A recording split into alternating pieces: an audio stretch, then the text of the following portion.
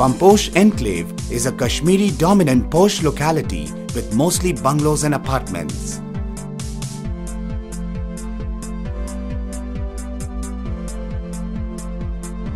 The Guru Nanak Market caters to the daily needs of residents. The M Block Market of GK1 is also closely located. The Guru Hari Krishna Public School is also in close vicinity. Hospitals like Sukhda and Phoenix are located around the area.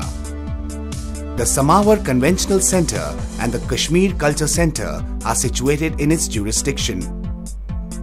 The nearest metro station is Nehru Place at a distance of 2 kilometers. Its distance from the IGI airport is 15.8 kilometers.